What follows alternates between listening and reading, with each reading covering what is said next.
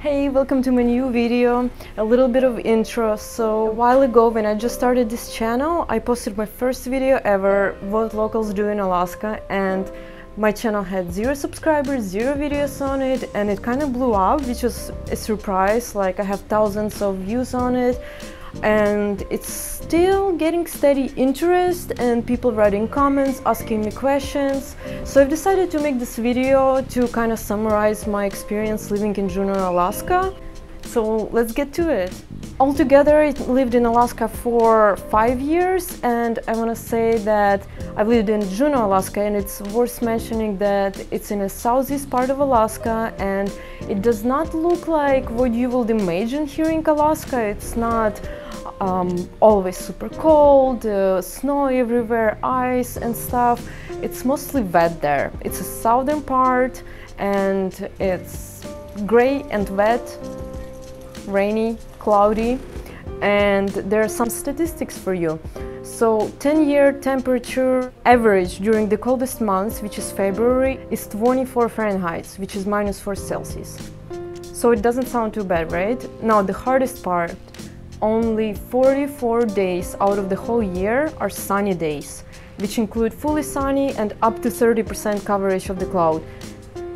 Partially sunny days from 40 to 70% of the sky during daytime 41. So that leaves us to 280 days out of the whole year fully cloudy, at least 80% cloud coverage.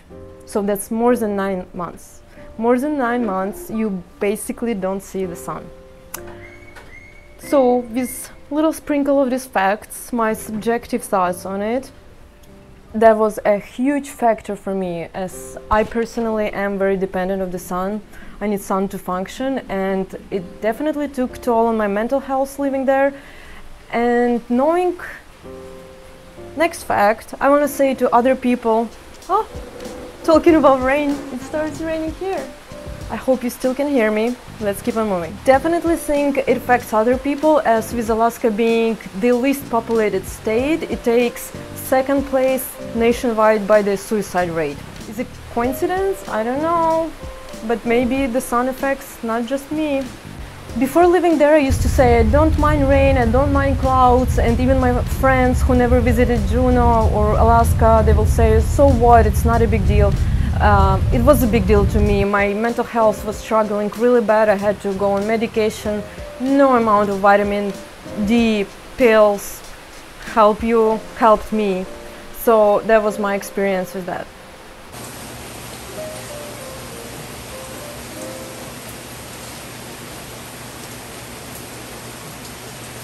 Next one for me, I was born and grew up in a big city. I was born in Kiev and it's a big European capital.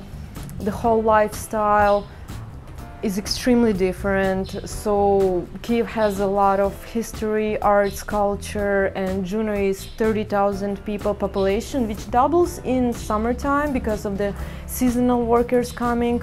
Uh, but it's steady 30,000 population and it has no roads out. Therefore, all the things I'm used to and I love are totally absent there. I lived in Seattle as well for four years total and even Seattle wasn't big enough for me.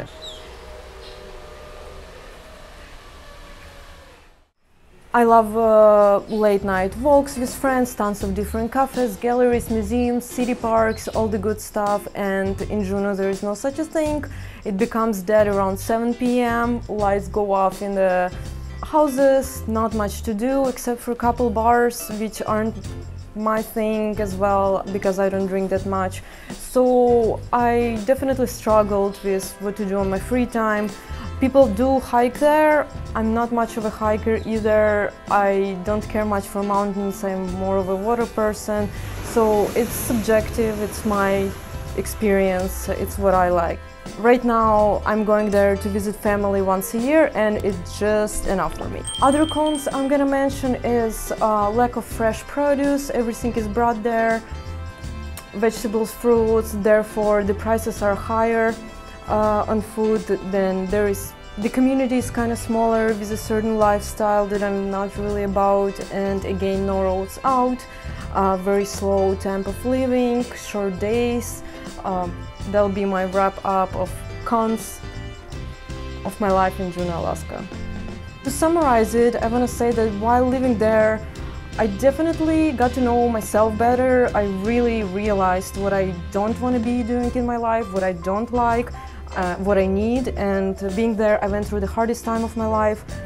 I had really bad episodes where I felt like I'm in a jail and there is no way out and I did have to get on a medication for my mental health for the first time of my life. Plenty of therapy, that's what helped me survive through all those times. Now onto pros I experienced there. Yes, there are some.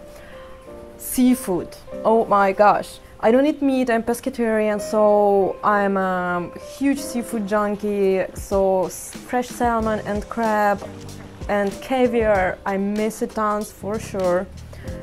I got to experience many once in a lifetime things like walking on a frozen lake to ice caves. I was staying in a cabin in the middle of nowhere with no service for days and it was absolutely beautiful.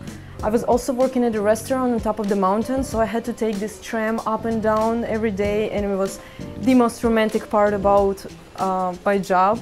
And then casually seeing bears by the roads or outside of your house, it was pretty cool too.